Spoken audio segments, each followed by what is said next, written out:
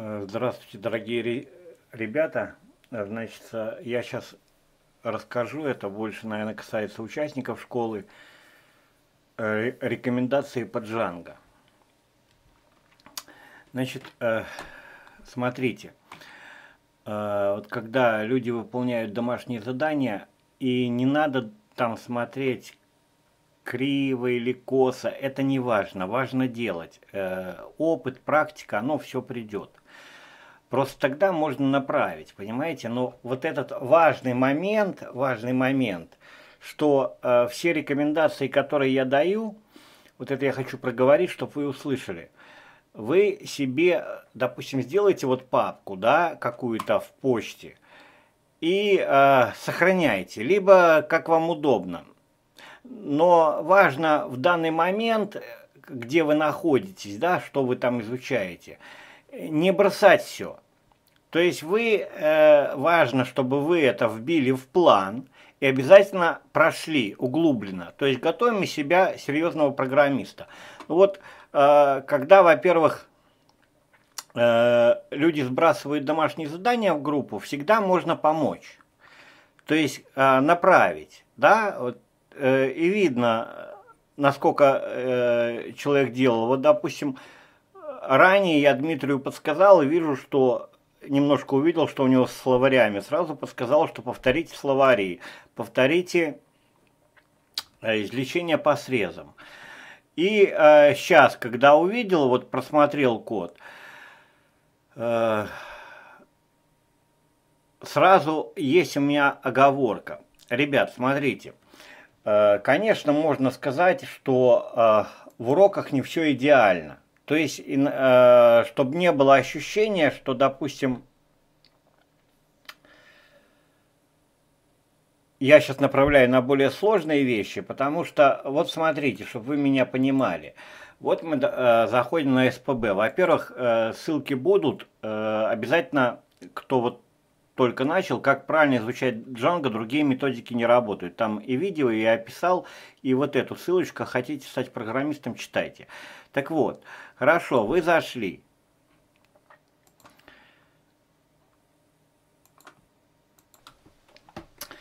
И проделываете, э, допустим, план Django, чтобы выйти на средний уровень, да, там, Э, допустим, вот этот план, он рассчитан на то, чтобы человек уже начал серьезно понимать Джанго. Но надо еще понимать тот подход, что ведь я рассчитываю, что человек новичок, и то есть я здесь показываю совсем просто. Но в то же время, вы заметите, по домашним заданиям я э, даю рекомендации, уже довольно серьезные.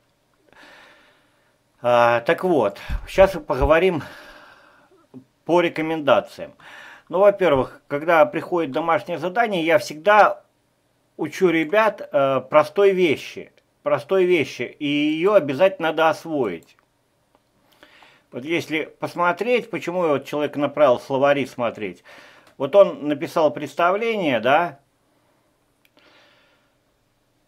где, вот, допустим, да, э, где в основе это, грубо говоря, чистый Python. Может, вы так не видите, но э, чистый Python, да, там C присвоит значение словарь, да, пустой.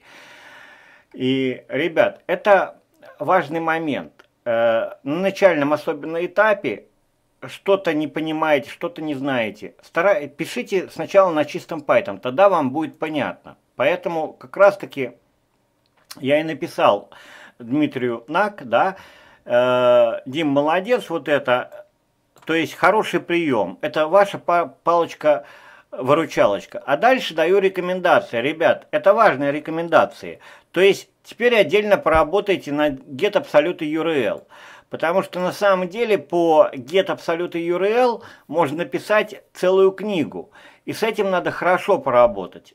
Э, материала в интернете много, но вот, допустим, я когда сейчас делал курс на сайте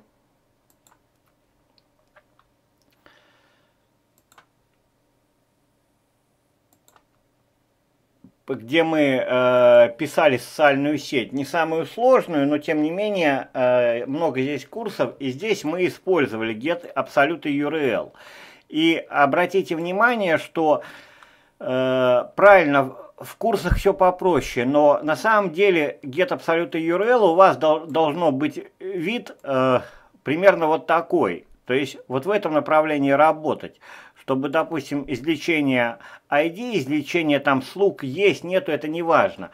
Но э, важен сам момент, что э, над чем надо работать. Работать над тем, чтобы у вас э, get URL извлекало любые ад ад адреса в любом месте. Э, то есть, вот смотрите, вот мы берем, да, вот это все get URL. Э, то есть, э, куда бы мы ни нажимали, да, э, легкие переходы. Легкие переходы совсем. И при этом эти, эти переходы буквально там пару строчками кода. И, конечно, проще сделать как? Проще пройти курс, то есть именно пописать, а потом уже, конечно, становятся доступны вещи и просто куски кода с интернета, когда понимаешь, о чем речь. Но о чем я хочу сейчас сказать? Не о том, что курс вы и так посмотрите, а о том, что вот есть get absolute URL.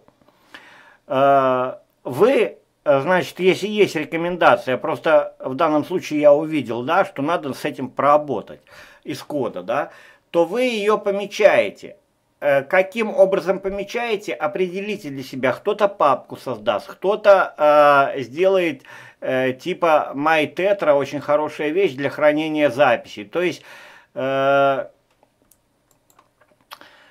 э, пометьте себе, э, важно, э, если вы находитесь, допустим, на этапе, еще плохо разбираетесь в моделях, не надо прыгать на get absolute URL в этот момент. Вы должны встроить это в свой план. Вот как только вы первично, вот как здесь, да, э, как здесь вот в домашнем задании э, Сергей вот использовал уже get absolute URL, то есть он четко уже понял, а зачем это ему, да? То есть как это работает, то тогда уже можно переходить к более сложным вещам. Далее, э, конечно же, я э, дал не одну я э, не одну рекомендацию, в принципе, я написал в группы. И очень спокойно относитесь к моим дополнениям, без фанатизма. Что-то сейчас сложновато, на потом отложите, когда будет более доступно. А, я понимаю, что вы написали код и уже рады, рады по сравнению с тем Дмитрием, который раньше меньше знал, вы очень выросли. Но просто я вижу, что лучше поправить. Э, и пусть это, грубо говоря, поправят другие ребята и так далее, и так далее. Э, теперь, э, далее, э, видите, мы сразу взяли на заметку. Вот, допустим, конечно, любой из нас, человек, который начинает, как правило, пишет модель попроще, грубо говоря, это называется в Django мультимодель, это обычная модель, обычная модель, да, и нам вроде как понятно, но на самом деле надо особое внимание обращать на вещи более сложные. Ну типа...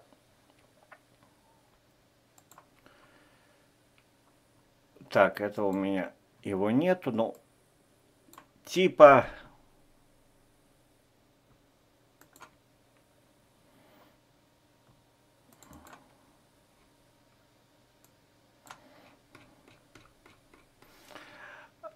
То есть начать применять э, во всю абстрактные модели. Э, что дает этот подход? Ребят, смотрите, э, когда вы применяете обычную модель, мультимодель, она в принципе привязана к, одну, к одному приложению. Э, да, вроде как неплохо, но в данном случае мы писали социальную сеть, она была жестко привязана, но можно было все разукрасить немножко по-другому. Просто э, я давал вариант, когда ну, чтобы человек вообще понял, а усложнять уже потом будем. Но когда мы делаем, допустим, абстрактную модель, Uh, просто легче продумать приложение. Да? Мы взяли, uh, допустим, в абстрактную модель в саму вбили пользователь, заголовок, время создания, время обновления. Нам достаточно. Да? А далее, вот смотрите, uh, сама крутизна. Вот вы написали приложение, да, в данном случае это примерно приложение э, как курсы, да, это вот э, есть и это, сейчас вы поймете, о чем я хочу сказать.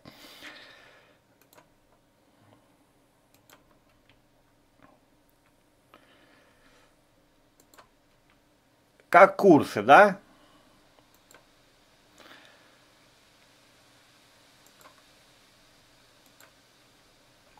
То есть... Э, курсы. Но в чем здесь фишка? Фишка в том, смотрите,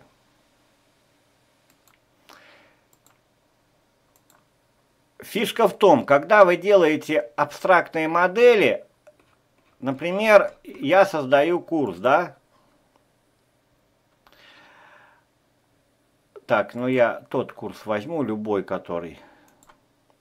То вот здесь, э, допустим, Э, видно, не видно, не знаю, сейчас попробую поднять. То есть мы можем добавлять там текст, картинки, YouTube. То есть мы начинаем разные виды контента добавлять э, в одном месте, то есть использовать фабрики Django. Второй момент. У вас э, написано одно приложение, но вы можете, по сути дела, сделать вообще одну базовую модель, а потом просто э, во втором приложении добавлять какие-то поля в эту базовую модель, да, и при этом у вас будет минимум моделей, э, это первое. Вторая, а теперь смотрите вот саму фишку. Сама фишка в том, что если у вас базовая модель э, в одном приложении, да, и во втором, то вам очень легко потом между собой связать эти приложения, понимаете? То есть это не отдельная модель где-то, а э, тогда проще. И по сути дела вы пишете, можете написать, грубо говоря, одну базовую модель, а потом э, просто менять контент. Где-то вам надо текст, где-то вам надо видео. Ну, по сути дела, там максимум будет 9 видео контента, где-то PDF. Но я говорю смысл о том, что очень легко связывать приложения. Поэтому я, э, я понимаю, что еще ребята это могут не понимать, но с моделями тоже нужно взять на заметку. Вот я даю рекомендации. У вас пока учебные модели, они неудобны. Что значит неудобны? Вы их можете использовать только в одном приложении. Не то, что нужно начинать, э, ну, по сути дела, с них надо начинать. Но есть такое правило, ребят, что все должно легко использоваться. Конечно, здесь я показал выход очень серьезный. И здесь мы работали с Content Type. Да, это фреймворк, который вообще, в принципе, используют в основном профессионалы, как я заметил. Э, сейчас покажу. Но он есть по умолчанию, да.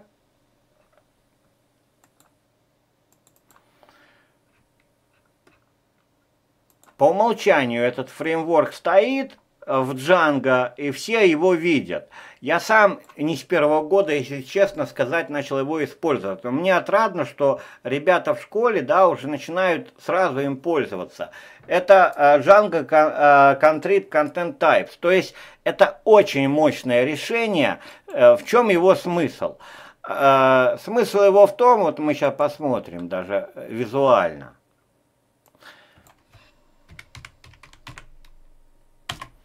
Потому что мы делали по, по нем уроки. Так, это мы социальную сеть делали. Теперь я, дай, дай бог мне памяти вспомнить.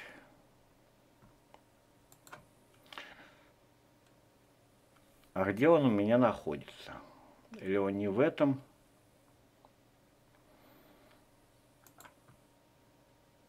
Не, должен быть в этом. Сейчас, секунду.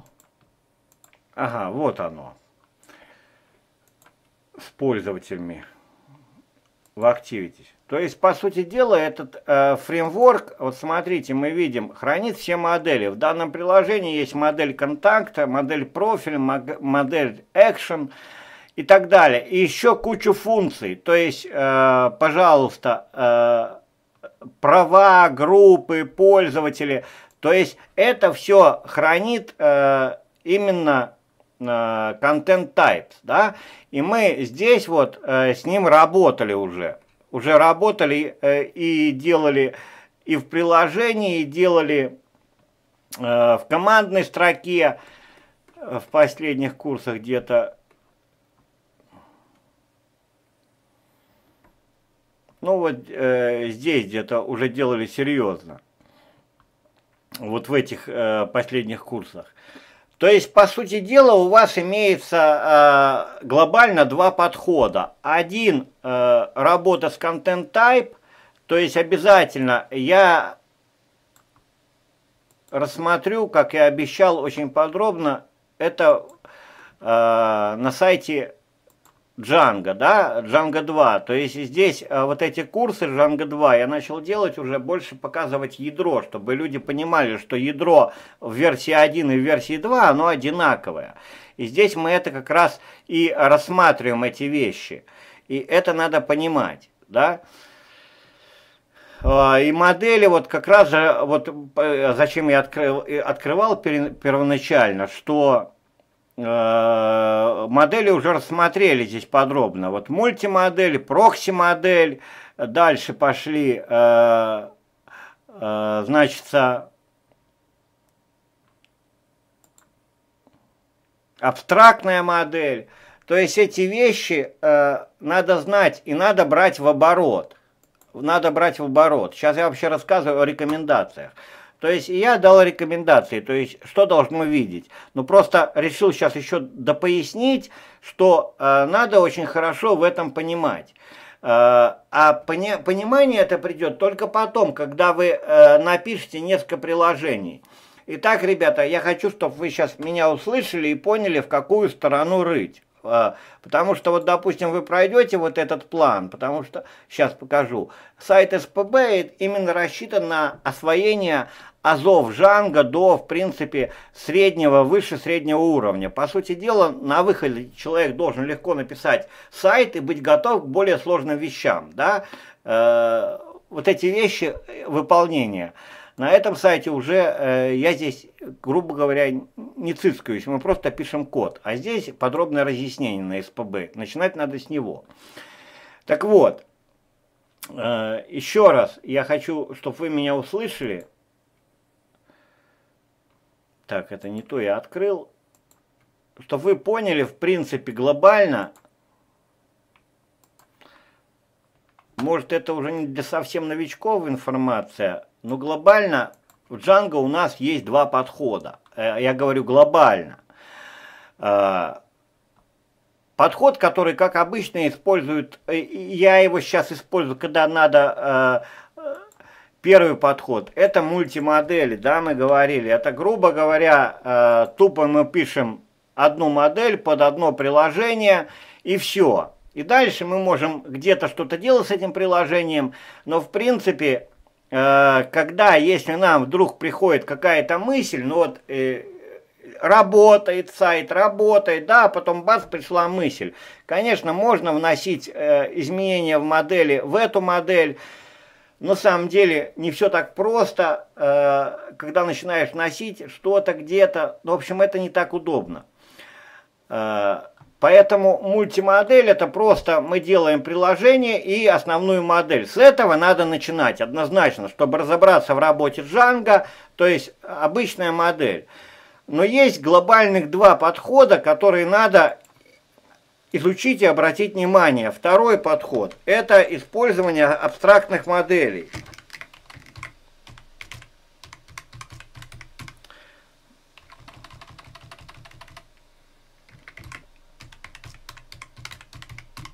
абстрактные, да? По сути дела, э, в чем мы выигрываем? Вот у нас есть одно приложение. В нем мы написали абстрактную модель. Э, во-первых, нам понадобился какой-то вид контента. То есть э, абстрактная модель, она не, сама абстрактная модель таблицы в базе данных не создает. А вот когда мы, например, так, сейчас покажу. А когда мы вот, допустим, Э, добавили модель текст, да, то тогда в базе создается и поля с абстрактной модели, и плюс поле, которое мы создали, да.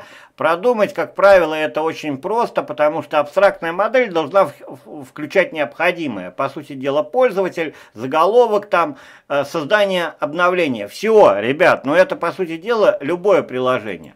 Но я рассказываю сам смысл дальше. Вот здесь у нас создана абстрактная модель, да. Я хочу, чтобы вы это именно уразумели. Смотрите, абстрактная модель. И под нее мы э, создаем уже некие поля, которые нам надо, сколько хотим. Но потом мы начали делать другое приложение. По сути дела, очень просто взять за основу эту же абстрактную модель, а здесь дописывать какие-то вещи. Либо можно, конечно, создать новую, но просто я говорю вам как идею. И, по сути дела, два приложения тогда очень легко между собой связывать, потому что они работают от одной модели. Это первый подход. То есть э, э, здесь, ребята, вот я не забывайте, не забывайте в моделях, их вообще не используют, я показал, это э, прокси модели. Это э, прокси, ну, у всех понимание, что прокси это замена, допустим, по крайней по минимуму это замена IP, да, прокси модель тоже назначение. Оно тоже э, меняет, посмотрите, что как, но очень классно. Их вообще мало кто использует. Ладно, пошли по второй вещи. По третьей, да, вот путь, который есть, да, он работает со всеми, и с этим, и с этим. То есть это у нас надо обратить особое внимание на такую вещь. Это если вы действительно готовите себя как профессионала. Потому что э, вроде как там не сложно, но э, взять вот просто быстро-быстро разобраться не получится. Здесь надо немножко поработать. Так, ну это я уже закрою. Вот. А, то есть Django Contrib uh, Content Types, uh, типы контента, это целый фреймворк. По сути дела, здесь uh, в чем крутизна? Вот именно при помощи него, вот я и показывал, мы писали, допустим, социальную сеть. То есть более сложные проекты пишутся при помощи этого фреймворка. Вот у нас есть это, это кружки, да, они могут не влезть, я ж не знаю во сколько это, а, влезут, влезут сюда. Вот это у нас модели, да, какие-то. И на самом деле, какие бы ни были модели и сколько бы ни было этих моделей в приложении, контент type, пусть у нас будет этот квадрат, прямоугольный контент type, он будет хранить настройки всех моделей. Всех. И по сути дела, что нам это дает? Это нам дает, что мы можем любую модель связать с любой и любое поле любой модели с любым. То есть на что хватит нам, грубо говоря, выдумки, да? Вот этот подход надо обязательно учитывать. Э, ближайшее время, уже, наверное, когда вы смотрите «Я дал», ну, так как мы уже использовали этот фреймворк э, Content Type, я решил его разложить, ну, именно по полкам, чтобы ребята начали на нем писать уверенно. Это уже уровень выше среднего, э, ближе, но именно если идти этим путем, то у вас будет очень классный, крутой код.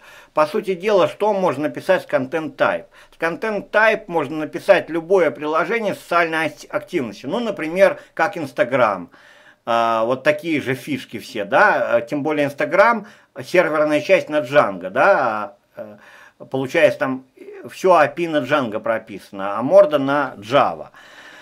То есть соображаете, да, любой интернет-магазин, мы уже не говорим, что мы вот э, использовали, когда писали социальную сеть, мы использовали и Jukeri, и Ajax, это да, но просто, ребят, Э, я хочу обратить внимание именно ваш взор на вот эти две вещи, content types и абстрактные модели, что на это надо обратить внимание. По каждой из вещей, по крайней мере, по content type, хотя там, в принципе, инструкция небольшая, но там можно написать целую книгу. Но именно надо обращать свой взор, вот, э, как э, Дима, да, здесь сделал домашнее задание, и сразу я говорю, Дим, вот вот это, вот это, вот это по моделям. Э, Дима написал, кстати, сообщение. Э, очередной раз безмерно благодарен. Вы, как всегда, делаете напутствие, которое вам подсказывает ваш опыт, хорошее человеческое качество. Я э, все рекомендации сохранил, вот это очень правильно. Перечитал три раза, сейчас приступлю к выполнению домашнего задания шаг 33, параметры полей. Руки чешутся добить план 1.7. подошел к началу Bootstrap. А, а, кстати, Дим, сразу к ходу. Параметры полей. Параметры полей – это ядро. Это ядро. Поэтому параметры полей надо изучать. Я, у нас есть там и другие ребята. А, именно посмотрите еще план вот этот. 2018. С сайта он будет выглядеть вот так. 2018. Здесь более глубоко вот эти параметры полей рассмотрены. Уже мы подробно. И параметры полей э, для новичков, которые смотрят, э, параметры полей те же. Вот он, сейчас я хотел другое сказать, сейчас перейду к параметрам полям, э, пока не забыл. Вот Дмитрий очень правильно делает. То есть, ребят, вот это важно. Не надо все бросать и выполнять мои рекомендации рекомендации вы сохраните. Как чувствуете, что готовы, можно идти дальше. Вот как Дмитрий, да, сохранил, и он в свое время к этому приступит. А теперь э, вот в этом плане, вот в этом плане есть параметры полей, да, и мы их здесь рассмотрели. И они одинаковые, Django там 1, Django 1.7, Django 2. Э, то есть настройки полей модели, настройки полей модели, все это есть. И это, эти вещи, это вещи базовые. Нельзя допускать какого-то недопонимания тех же параметров полей. Давайте откроем их, да? То есть, по сути дела, параметры полей это все, что у нас находится в модели, да, в поле, вот это у нас поле в скобочках, да, в скобках дайте я вот так отмотаю, то есть то, что находится в поле, да, в скобках, это и есть настройки полей. Эти вещи, ребята, они базовые, их немного, в них надо один раз разобраться. Но у вас не должно быть такой вещи, что вы сидите и думаете, а что ж сюда вставить? То есть должна работать уже логика, но чтобы она работала, эта логика, надо знать, чего вставлять. Поэтому параметры полей я рекомендую. Изучили, составили шпаргалку, где-то я видел Асачи сбрасывал, вот это он правильно очень сделал. Я попытаюсь найти, но она там в группе точно есть.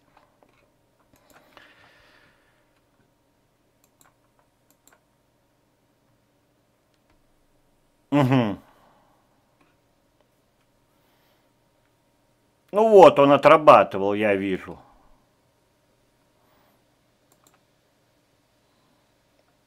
Так, тут...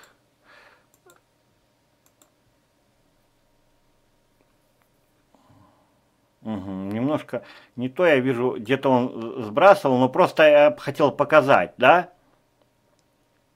что где-то он расписывал целый список. То есть, именно я о чем хочу сказать. Их немного. Записали себе э, шпаргалку. Вы должны уже соображать. То есть, а чтобы соображать, надо знать. Например, э, ваше рассуждение должно быть примерно такое.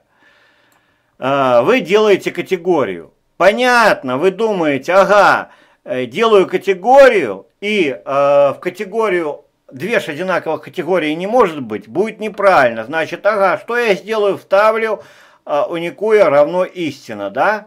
Ну, может, я неправильно прочитал, извините. То есть, а, вы четко понимаете, как только вы присвоили параметр, потому что у Django есть параметр по умолчанию. По умолчанию этот параметр тоже стоит, только он false. Когда вы прописали уже явно э, истина, да, true, то э, вторую категорию так, с таким же названием человек не создаст. Вы думаете дальше, соображаете, дальше соображаете. У меня есть слух филд, э, там куча букв, да, по сути дела. Ну, э, чтобы долго не извлекалось, ага, поставлю я db индекс равно истина. То есть, по сути дела, создастся индексы, но это как вот извлечение, допустим, сервера только заголовков, да, а не всей статьи. Заголовки же быстрее извлечь. То есть, по сути дела, уже будут заголовки, уже будет база данных работать быстрее. И так далее, и так далее. То есть должно э, отлетать, что если поле там э, charField, charField, да, там малое текстовое поле, то обязательный параметр указания э, maxSelect. Но это и логически, правильно. У нас есть заголовок, он же не может быть тысячу символов, поэтому логично его ограничивать, там 100 символов, а то вам человек понаписывает. Но тем не менее надо э, знать, допустим, что тот же Max Select, вы сможете ограничить любое поле, даже э, большое текстовое поле, там text field, написать там ограничение, там тысячу символов и все. То есть такие вещи, вот те же параметры полей, да, вот правильно я на, обращаю внимание э, на письмо э, Дмитрия, да, то есть беру параметры полей. Все правильно, Дим, все правильно делаешь. Параметры полей, даже не стесняйся их перед вечером взять, выписать на бумажку и просмотрел. То есть, по сути дела, что должно происходить? Э, э, смотри, э, не надо зубрить.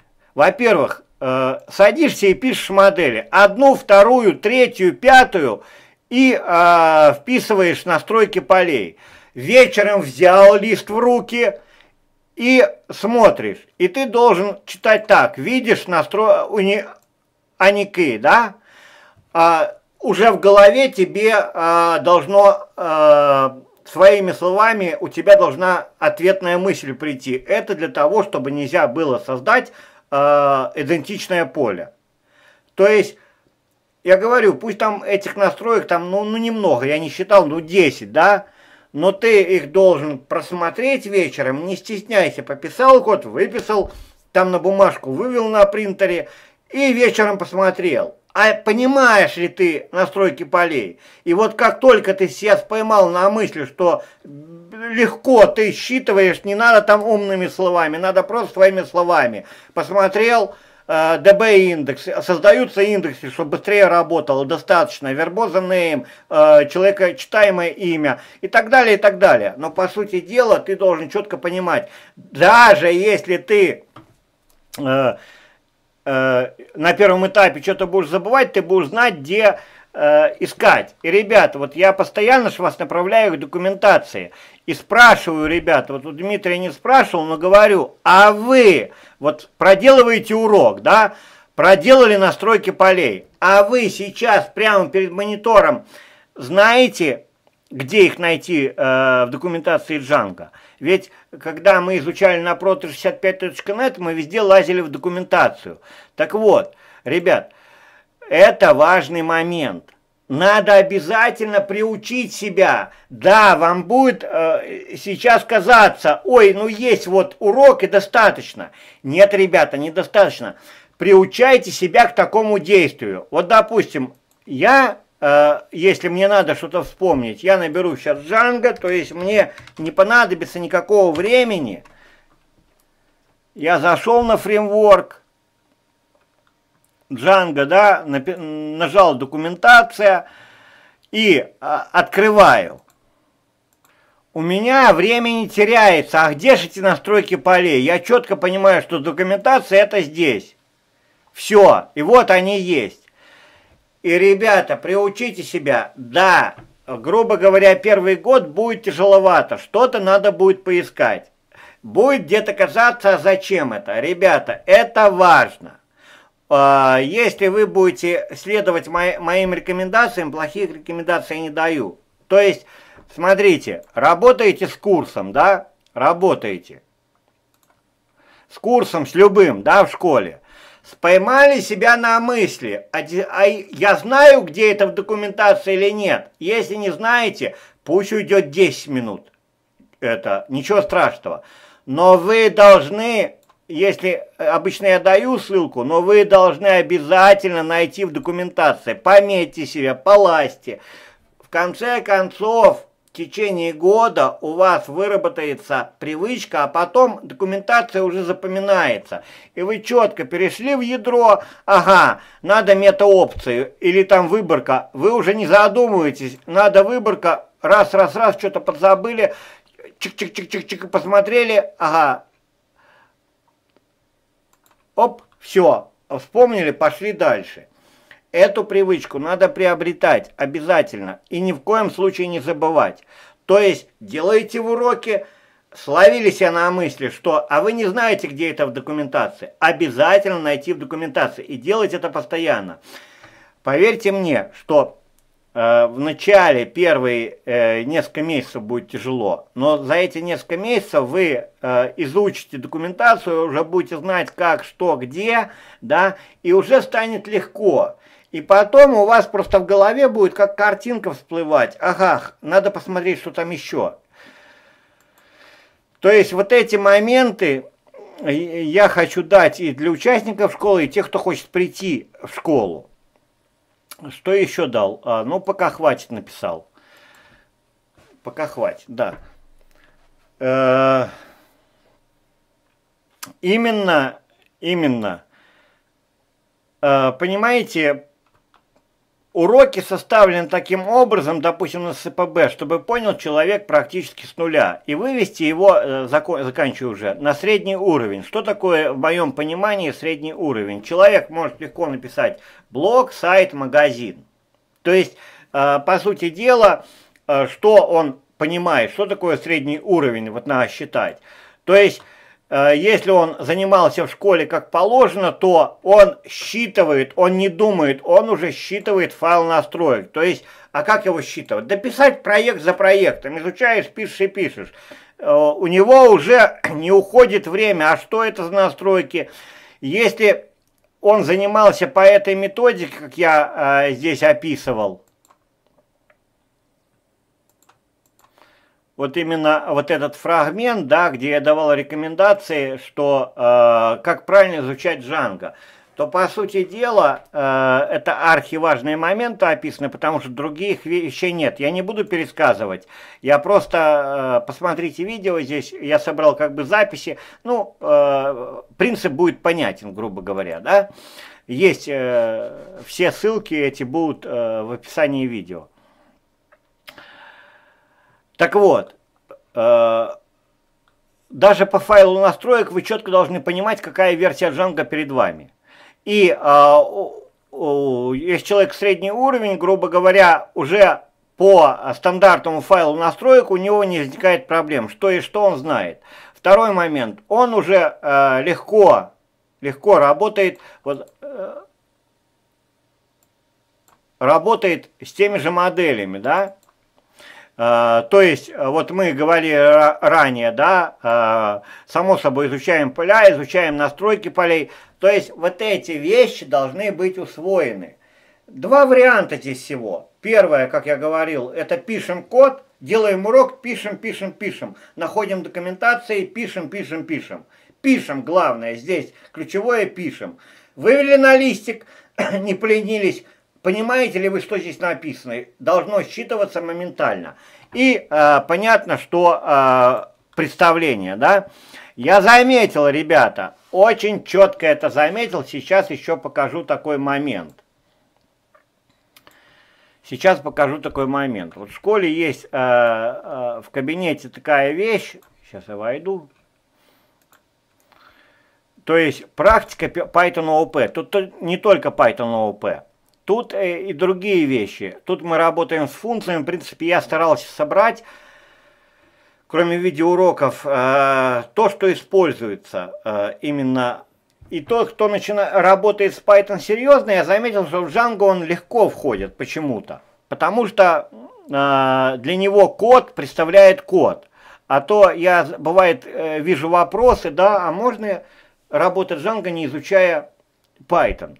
Ребят, ну, смешно, ну давайте я вам скажу, что будет. Тогда для вас вот это, э, вот это будет не строка, а вы будете говорить, а я не поставил кавычку. Ну, ребят, ну это же не программирование, а смехота. То есть для вас должно э, обязательно Python, потому что типа объектов, строка, э, функция, э, дальше и так далее, и так далее – они должны считываться. И считываться э, совершенно э, на автомате. Э, не, ну, если честно сказать, вот от себя лично, да, э, я вот расскажу, чтобы вам было интересно, да. Это сегодня я уже там э, э, пишу на Python, пишу на других языках, все считываю, но это так не было.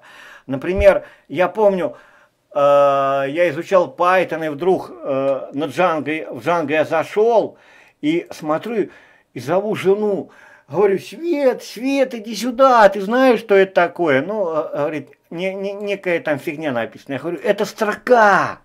И я вдруг осознал, что я понимаю, что это тип данных строка.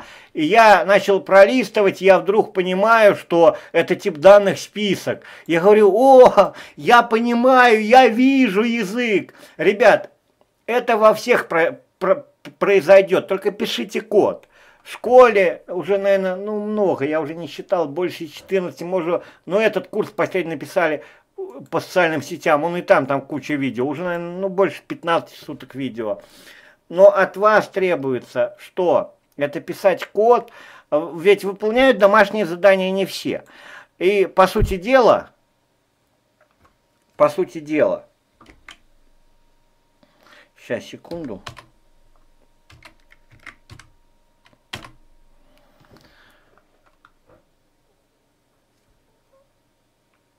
По сути дела, по сути дела, сейчас я хотел кое-что показать.